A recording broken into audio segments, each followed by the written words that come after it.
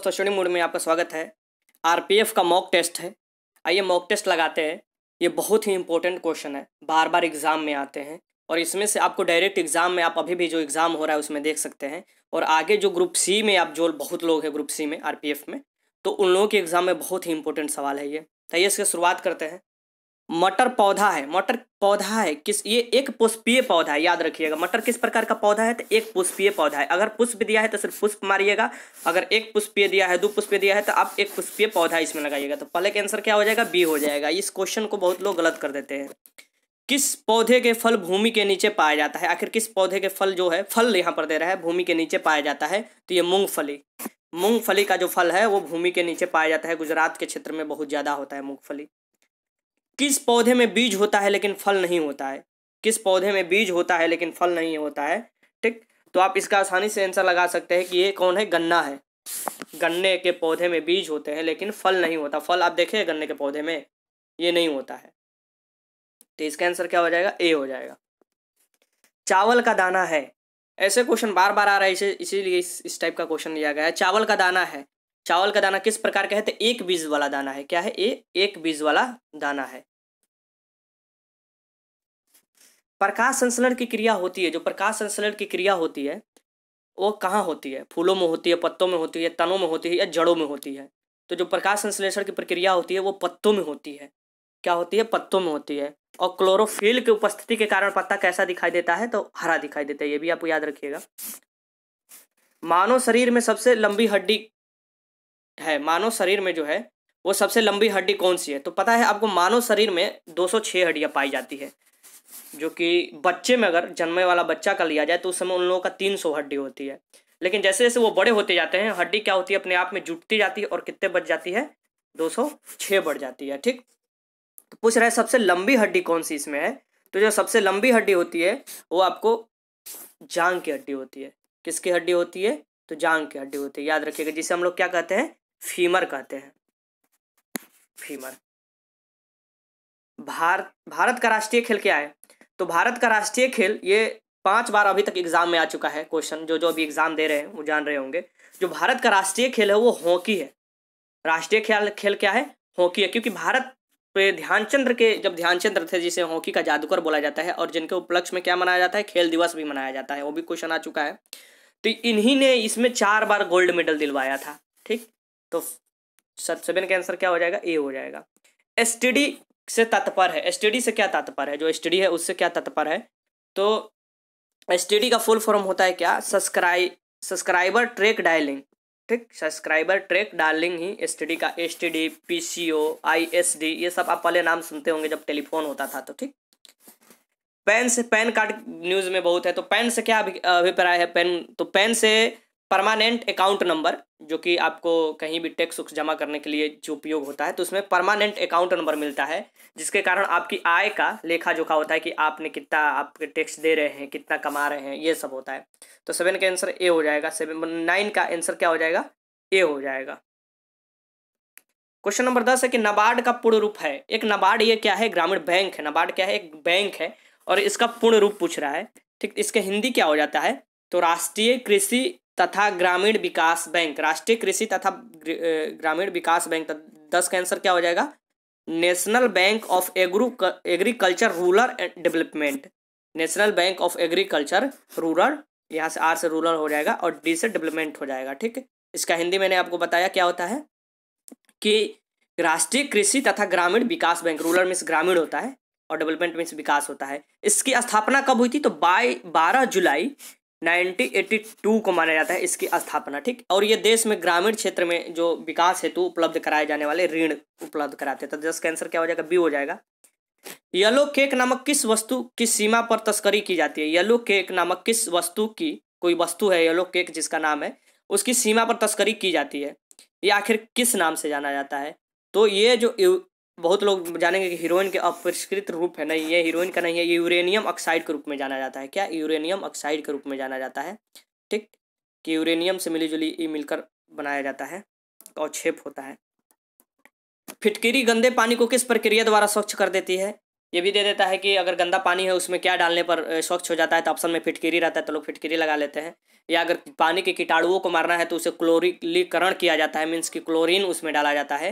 तो भी हो जाता है। तो लेकिन फिटकीरी जब डाला जाता है, उस प्रक्रिया को कहा क्या जाता है? जिस प्रक्रिया से ये परिस्वस्थ होता है पानी तो उसको स्कंदन कहा जाता है। क्या कहा जाता है? तो स्कंदन कहा जाता है। ठीक तो एक उत्तम स्कंदक है। क्या है? स्कंदन प्रक्रिया को कहा जाता है। स्कंदक फिटकिरी एक उत्तम स्कंदक स्कंदक माना जाता है फिटकिरी को, याद रखिएगा। तो बारह का आंसर क्या हो जाएगा? सी हो जाएगा। मोती मुख्य रूप से बना होता है। जो मोती होता है, वो मुख्य रूप से किससे बना होता है? तो ये कैल्शियम कार्बोनेट से बना होता है। कैल्शियम कार्बोनेट से बना होता है, याद रखिएगा। जय हिंद का नारा किसने दिया था? जो जय हिंद का नारा दिया गया था, वो किनके द्वारा दिया गया था? तो मोतीलाल नेहरू द्वारा दिया गया था। किनके द्वारा दिया गया था? मोतीलाल नेहरू द्वारा दिया गया था। ठीक? और ये देशभक्ति वाला नारा था एक। इसका आंसर क्या हो जाएगा? सी हो जाएगा। चौदह का आंसर सी हो जाएगा। आगे क्वेश्चन देखते हैं कि किसने कहा था, तुम मुझे खून दो तो मैं तुम्हें आज़ादी दूँगा। ये हमारे महान नेता कौन थे? तो सुभाष चंद्र बोस थे। कौन थे? सुभाष चंद्र बोस फॉरवर्ड ब्लॉक की स्थापना भी किए थे। कौन? सुभाष चंद्र बोस किए थे। तुम मुझे खून दो तो मैं तुझे आज़ादी दूँगा। हमारे राष्ट्रीय गीत के लेखक कौन है? जो हमारे राष्ट्रीय गीत है, उसके लेखक कौन माने जाते हैं? तो बकीम चंद्र चटर्जी माने जाते हैं। और जो राष्ट्रीय हमारा गान है, जिसे जनगण मन गाया जाता है, उसका रविन्द्रनाथ टैगोर माने जाते हैं, ठीक? तो सोलह का आंसर क्या हो जाएगा? ये हो जाएगा। अब देखिए, इसमें दे रहा अगला क्वेश्चन, सत्रह के गोदान उपन्यास के लेखक कौन है? बहुत ही महत्वपूर्ण उपन्यास है, जिसने नहीं पढ़ा जाकर पढ़ लो। बहुत ही अच्छा उपन्यास है। गोदान का जो उपन्यास के लेखक है, आप पढ़े भी होंगे आपने पिछले क्लास में।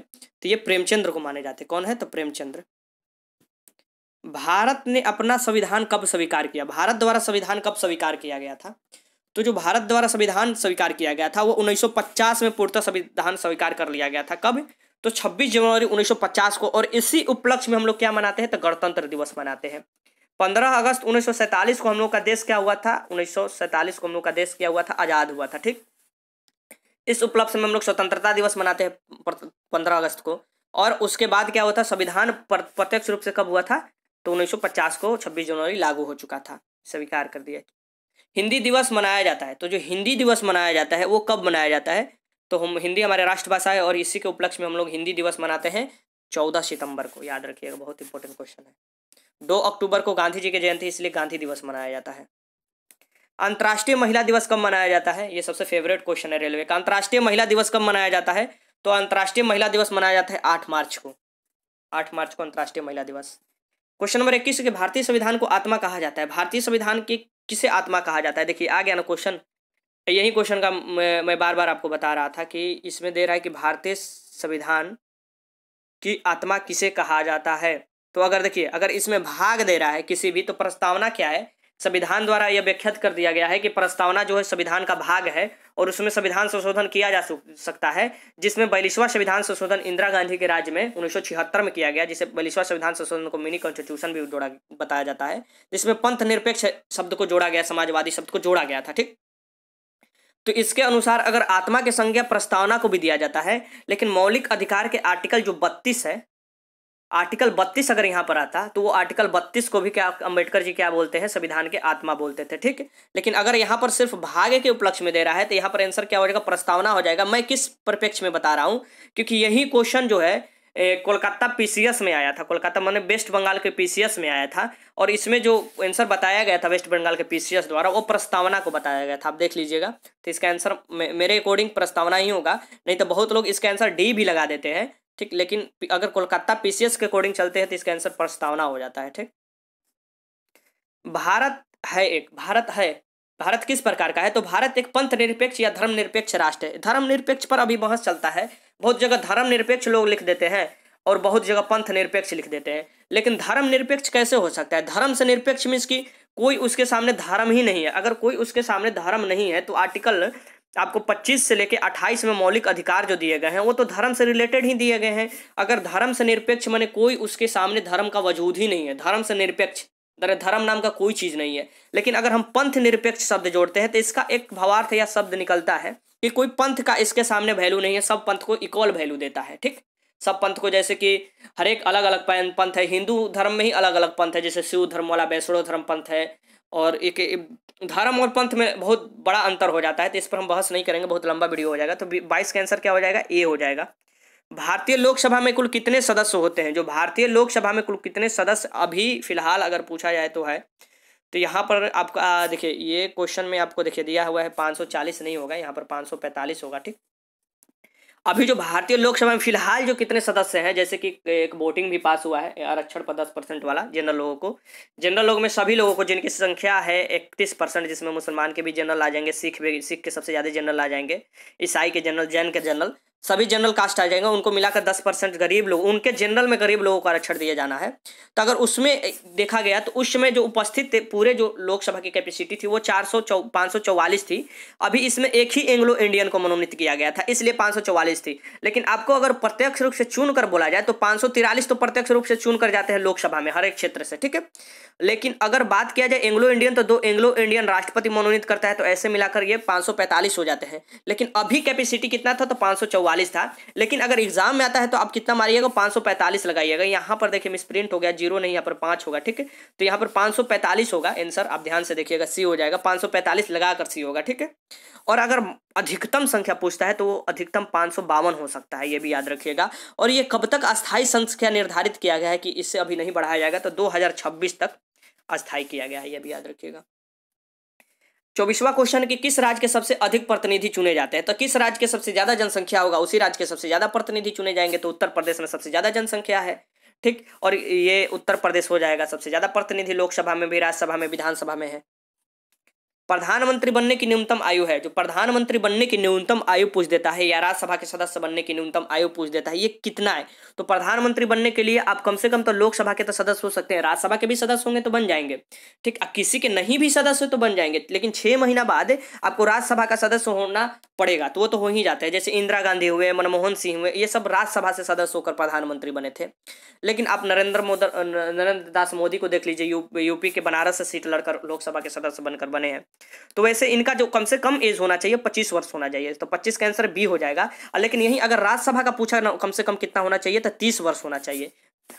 राज्यसभा के सदस्य के लिए तीस वर्ष होना चाहिए और प्रधानमंत्री किसी का भी सदस्य हो सकता है तो लोकसभा का हो रहा है तो पच्चीस वर्ष, और राज्यसभा का हो रहा है तो तीस वर्ष। तो अब मान लीजिए इसमें सबसे न्यूनतम पूछ रहा है तो पच्चीस ही वर्ष हो जाएगा। और अगर राष्ट्रपति के दे रहा है, राज्यपाल का दे रहा है, उपराष्ट्रपति का दे रहा है तो वो पैंतीस वर्ष होता है, याद रखिएगा। स्वतंत्र भारत के प्रथम गृह मंत्री थे। स्वतंत्र भारत के प्रथम गृह मंत्री के नाम पर ही एक स्टैचू भी बनाया गया है। और ये थे हमारे सरदार वल्लभ भाई पटेल थे, ठीक? सरदार वल्लभ भाई पटेल थे। केंद्र सरकार के व्यय को नियंत्रित करने की शक्ति किसके पास है? तो जो केंद्र सरकार के व्यय नियंत्रित किए जाते हैं, वो जैसे इसके जो देख रेख किए जाते हैं मीन्स इसके कहने का मतलब कि जो नियंत्रित करने की शक्ति किसके पास है? केंद्र सरकार के व्यय कि कैसे, कहाँ व्यय होगा, कैसे होगा। तो देखिए, पैसा तो निकाला जाता है संसद की शक्ति द्वारा ही, लेकिन इसका जो लेखा जोखा को नियंत्रित करता है देख रेख करता है वाच डॉग है, वो नियंत्रक और महालेखक परीक्षक है, जो मुख्य रूप से वाच डॉग करता है कि कहाँ पैसा कितना खर्चा हुआ, घोटालाबाजी जो होता है, उसका यही देखता है। तो मेरे कहने का मतलब जो क्वेश्चन है, उसमें थोड़ा इसका भावार्थ अलग निकल रहा है, लेकिन इसमें दे रहा है कि किसको नियंत्रित मतलब की जो देख रेख करता है, वो। लेकिन अगर पैसा जो व्यय करने की शक्ति किसके पास है तो वो तो संसद के ही पास है, ठीक? लोकसभा के पास अधिक शक्ति दिया गया है। संविधान के व्याख्या करने का अधिकार किसके पास है? सबसे महत्वपूर्ण क्वेश्चन सब, संविधान के व्याख्या करने का जो व्याख्या करने का अधिकार है, वो किसके पास है? तो अट्ठाईस का आंसर आप क्या लगा सकते हैं? देखिए, संविधान को जो व्याख्या करता है देखिए, अभी जो संसद में कानून बन रहा है, उस पर देख रहे हैं, बहुत से व्याख्या हुआ, बहुत से लोग अपना अपना विचार प्रस्तुत किए।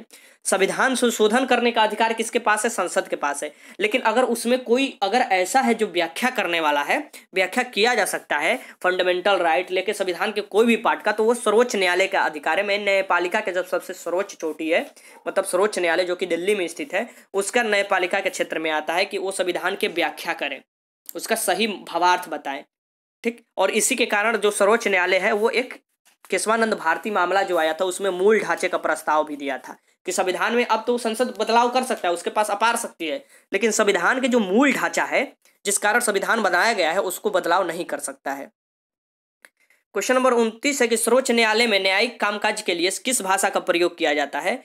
तो जो सर्वोच्च न्यायालय में है, न्यायिक कामकाज के लिए किस भाषा का अभी जो उपयोग किया जाता है वो दोनों बना दिया गया है। लेकिन अभी जो फ़िलहाल जो उपयोग किया जाता है, वो अंग्रेज़ी भाषा का ही सबसे ज़्यादा तवज्जो दिया जाता है। लेकिन आप दोनों भाषा में ही कामकाज अभी जो फैसला अकॉर्डिंग चल रहा है, कर सकते हैं। और आठवीं अनुसूची में जितने भाषा सम्मिलित है, वो लगभग बाईस भाषा आपको आठवीं अनुसूची में सम्मिलित है। लेकिन यहाँ पर दे रहा है कि सर्वोच्च न्यायालय में दे रहा है तो सर्वोच्च न्यायालय में अभी जो अधिकतर कामकाज होते हैं, वो इंग्लिश में ही होते हैं। लेकिन आप वहाँ पर हिंदी की भी अब उपयोग कर सकते हैं, और जो आपको क्लैट एग्ज़ाम ले रहा है, उसमें भी अब हिंदी के क्वेश्चन पेपर आने के लिए सुझाव दिया जा रहा है कि जो इंग्लिश में क्वेश्चन पेपर आता था वो हिंदी में भी लाया जाए। लेकिन अभी भी वर्चस्व किसका बना हुआ है? न्यायपालिका में तो इंग्लिश का ही बना हुआ है। भारत में न्यायपालिका है। भारत में न्यायपालिका है। क्या है? स्वतंत्र है, संसद के अधीन है, अधीनस्थ न्यायालय है, निर्वाचन आयोग है। तो भारत में जो न्यायपालिका है, वो स्वतंत्र न्यायपालिका है। किसी के अधीन नहीं है। वो अपना निर्णय स्वतंत्र रूप से मनाती है। जैसे भारत के तीन स्तंभ है ना, संविधान के द्वारा दिया गया। भारत सरकार का एक न्यायपालिका हुआ, एक विधायिका हुआ, एक कार्यपालिका हुआ। तीनों में समन्वय है। तीनों में समन्वय मैंने कि तीनों एक दूसरे पर वाच करते हैं, देखते हैं, ये करते हैं, लेकिन किसी के काम में टांग नहीं अड़ाते हैं कि आप ये काम नहीं कर सकते। जे जिसका काम है, वो अपना स्वतंत्र रूप से करता है। तो भारत का न्यायालय जो है, स्वतंत्र है। भारत में कुल कितने उच्च न्यायालय है, जो अभी फ़िलहाल अगर देखा जाए तो भारत में जो उच्च न्यायालय की संख्या है, वो चौबीस उच्च न्यायालय है, ठीक? कितने हैं? तो चौबीस है। भारत के प्रधानमंत्री अपना त्याग पत्र किसे सौंपता है? जो भारत के प्रधानमंत्री हैं अगर उन्हें त्यागपत्र सौंपना होता है तो वो किसे सौंपेंगे? जिसके का, जो विघटन भी हो जाता है लोकसभा का तो ये सौंपते हैं किसे? तो ये ले जाकर राष्ट्रपति को दे देते हैं। भाई, लो, हम त्याग पत्र देना चाहते हैं। ये किसको दे देते हैं? राष्ट्रपति को दे देते हैं, ठीक? तो बत्तीस का आंसर क्या हो जाएगा? ये हो जाएगा। राज्यपाल राज्य की किसका प्रतिनिधित्व होता है? राज्यपाल राज्य में किसका प्रतिनिधित्व होता है? आखिर वो किसका प्रतिनिधित्व करता है? तो उसकी नियुक्ति कौन करता है? राष्ट्रपति करता है तो वो किसका प्रतिनिधित्व करेगा? राष्ट्रपति का ही करता है। ठीक है, राष्ट्रपति को हर चीज़ लिख भेजता है। उपराज्यपाल की नियुक्ति कौन करता है? केंद्र शासित राज्य जो है ना हमारे साथ उसमें उपराज्यपाल की व्यवस्था दिया गया है कि जैसे दिल्ली हुआ, पांडुचेरी हुआ, और वहाँ पर जो व्यवस्था दिया गया है, उनकी नियुक्ति कौन करता है? तो अप्रत्यक्ष रूप से राष्ट्रपति के प्रति वो जवाबदेह भी होते हैं, और उनकी नियुक्ति भी राष्ट्रपति ही करता है। तो दोनों की नियुक्ति, उपराज्यपाल, राज्यपाल दोनों को करता है, लेकिन उपराज्यपाल की जो शक्ति है, वो पूरा राष्ट्रपति के हाथ में नियंत्रित है। ठीक तो चौंतीस का आंसर क्या हो जाएगा? आपको बी हो जाएगा।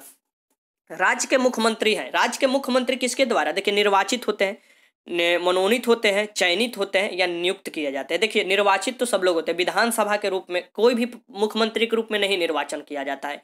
किसी का भी प्रधानमंत्री के रूप में नहीं निर्वाचन किया जाता है। निर्वाचन की प्रक्रिया क्या है कि आपको पहले तो नाम बता दिया जाएगा कि हमारे राज्य के ये मुख्यमंत्री बनेंगे उनके नाम पर वोट माना जाता है। लेकिन उसमें जो विशेष लोग होते हैं, वो सुझाव अपने बैठक बुलाते हैं और उसमें से एक नेता चुनते हैं। ये बोला जाता है लोकसभा के नेता या बोला जाता है राष्ट्र विधानसभा के अगर राज्य में बोले तो नेता। और उन्हीं, वही क्या होते हैं? या तो राज्य राज्य में जो विधानसभा के होंगे वो मुख्यमंत्री होते हैं और जो केंद्र में होंगे वो प्रधानमंत्री हो जाते हैं। तो इनकी नियुक्ति किसके द्वारा किया जाता है? तो इनकी नियुक्ति, अब राज्यपाल क्या करते हैं? इनकी नियुक्ति या शपथ दिलाते हैं। और इनके ही, ये जब बोलते हैं कि, सर इनको गृह मंत्री बनाया जाए, इनको रक्षा मंत्री बनाया जाए, इनको फल्ला मंत्री बनाया जाए तो वो फिर अलग अलग बनाया जाता है। ठीक तो इसमें से ये जो बोलते चयन कर कर, प्रक्रिया कर कर दिया जाता है, फिर वो उसकी कौन करते हैं? नियुक्ति करते हैं। कौन करते हैं? ये ए हो जाएगा इसके अंदर। कौन करता है? मुख्यमंत्री का तो वो राज्यपाल होता है। राज्यों के मुख्यमंत्री है। राज्यों के मुख्यमंत्री क्या नियुक्त होते हैं, निर्वाचित होते हैं, मनोनीत होते हैं या चयनित होते हैं। देखिए, वही क्वेश्चन है। बार बार ऊपर वाला ही क्वेश्चन रिपीट हो गया है। राज्यों के मुख्यमंत्री। मुख्यमंत्री की नियुक्ति किसके द्वारा की जाती है? देखिए, ये आया क्वेश्चन मुख्यमंत्री की नियुक्ति किसके द्वारा किया जाता है? तो राज्यपाल द्वारा किया जाता है। तो छत्तीस का आंसर क्या हो जाएगा? सी हो जाएगा। भारत में किस प्रकार की विद्युत का स्वार्थिक उत्पादन होता है? तो भारत में अभी जो कोयला वाला ही विद्युत सबसे ज़्यादा उत्पादन हो रहा है तो भारत में अभी ताप विद्युत का सबसे ज़्यादा उत्पादन होता है। तो आंसर क्या हो जाएगा? बी हो जाएगा। औद्योगिक क्रांति की शुरुआत हुई थी। वो औद्योगिक क्रांति की शुरुआत किस देश में मानी जाती है? तो जो औद्योगिक क्रांति की शुरुआत मानी जाती है, वो इंग्लैंड में मानी जाती है। कहाँ मानी जाती है? इंग्लैंड में मानी जाती है। भारत में गेहूँ का स्वार्थिक उत्पादन करने वाला कौन सा राज्य है? भारत में जो गेहूँ का स्वार्थिक उत्पादन किया था, करने वाला राज्य भी है, अभी भी है, वो है कौन? तो वह है उत्तर प्रदेश। अगर चावल का पूछता है तो वह है पश्चिम बंगाल, ठीक? तो उत्तर प्रदेश में सबसे ज़्यादा होता है। अगर सोयाबीन का पूछता है तो वो मध्य प्रदेश में सबसे ज़्यादा होता है। प्रति हेक्टेयर के बाद से आता है तो पंजाब हरियाणा में सबसे ज़्यादा होता है। पंजाब आप लगाइएगा। भारत में हरित क्रांति के जनक कौन थे? जो भारत में हरित क्रांति के जनक माने जाते हैं, वो कौन माने जाते हैं? तो एम एस स्वामीनाथन माने जाते हैं। कौन माने जाते हैं? एम एस स्वामीनाथन माने जाते हैं। चंद्रगुप्त मौर्य का प्रधानमंत्री था। जो चंद्रगुप्त मौर्य के प्रधानमंत्री थे, वो कौन थे? तो वो चड़क थे, जिसे हम लोग विष्णुगुप्त भी नाम देते हैं, जिनके द्वारा लिखा गया था एक पुस्तक, जिसका नाम था अर्थशास्त्र भी लिखा गया था। चाणक्य नीति के भी बारे में आप जानते होंगे। तो इनके प्रधानमंत्री थे। कौन थे? चंद्रगुप्त मौर्य के चड़क थे। कौटिल्य भी बोला जाता है, एक नाम इनका है। चंद्रगुप्त मौर्य ने अपना अंतिम समय बिता, कहाँ बिताया था? जो चंद्रगुप्त मौर्य थे वो अपना अंतिम समय में कौन धर्म? तो जैन धर्म अपना लिए थे। और ये स्वर्ण बेल गोला जो कि कहाँ स्वर्ण बेल गोला कहाँ स्थित है? तो ये जो स्थित है ये है कर्नाटक में स्थित है ठीक? और वहीं पर अपना अंतिम समय बिताए थे और भूख भूख छोड़कर मैंने खान पान छोड़कर अपना मृत्यु का त्याग कर दिए थे। मेघस्थनिज किसका राजदूत था? अगर एक क्वेश्चन दे देता है कि मेघस्थनिज किसके दरबार में आया था तो वो तो चंद्रगुप्त मौर्य हो जाएगा। लेकिन अगर ये देता है कि मेघस्थनिज किसका राजदूत था तो वो सेलिकस निकोटर का राजदूत था। किस का था? तो सेलिकस निकोटर का राजदूत था यहाँ पर।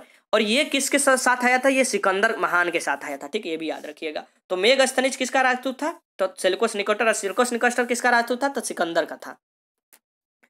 चंद्रगुप्त मौर्य अपने अंतिम दिनों में किस धर्म के अनुयायी बन गए थे? तो मैंने बताया ना, आपको ये कौन धर्म के अनुयायी बन गए थे? तो ये जैन धर्म के अनुयायी बन गए थे। अगला क्वेश्चन है कि अर्थशास्त्र किसकी रचना है? अर्थशास्त्र जो रचना है, वो किसकी रचना है? तो वो माना जाता है कौटिल्य, जिसे चाणक्य भी बोला जाता है, जिसे विष्णुगुप्त भी बोला जाता है, जो चंद्रगुप्त मौर्य के क्या थे? प्रधानमंत्री थे। तो ये कौटिल्य हो जाएगा। इसमें प्रशासन के बारे में दिया गया है राजनीतिक के बारे में बताया गया है बुक में। अशोक ने जो कलिंग वार किया था, उसके बाद ही वो बौद्ध धर्म अपना लिए थे, उनका दिमाग पलट गया था, उनका मतलब सोच अलग हो गया था, ये शांति की तरफ़ चले गए थे और बौद्ध धर्म के और धर्म के प्रचार करने के लिए आगे बढ़े थे। तो ये कलिंग वार हुआ था। कब हुआ था? तो दो सौ इकसठ ईस्वी पूर्व हुआ था। ठीक, कलिंग जो है ना, वो उड़ीसा के समीप है उड़ीसा में पड़ता, उड़ीसा के समीप पड़ता था। विश्व का सबसे ऊँचा जलप्रपात है, जो विश्व का सबसे ऊँचा जलप्रपात पूछता है, विश्व में पूछ रहा है, देख, ध्यान देखिएगा ठीक? तो एंजिल जलप्रपात है। ये कहाँ है? तो बेंजेउला में है। कहाँ है बेंजेउला के नाम सुने होंगे आप, दक्षिणी अमेरिका में पड़ता है। ठीक? वो बेंजूला में है, क्या है? एंजल जलप्रपात है। और गो, जो गरसुप्पा जलप्रपात कहाँ है तो ये इंडिया का सबसे ऊँचा जलप्रपात है, जो कि सरावती नदी पर है, और ये कहाँ पर है? कर्नाटक में है, ठीक है? हुंड्रू जलप्रपात कहाँ पड़ता है? ये तो ये जो पड़ता है, ये झारखंड में पड़ता है। वायुमंडल में स्वार्थिक मात्रा में उपस्थित गैस है, जो वायुमंडल में स्वार्थिक मात्रा में उपस्थित गैस की मात्रा है, वो नाइट्रोजन है, लगभग अठहत्तर परसेंट के करीब आता है, नाइट्रोजन, उसके बाद ऑक्सीजन आता है, ठीक? तो सबसे ज़्यादा जो है, वो किसका उपस्थिति है? तो नाइट्रोजन का है।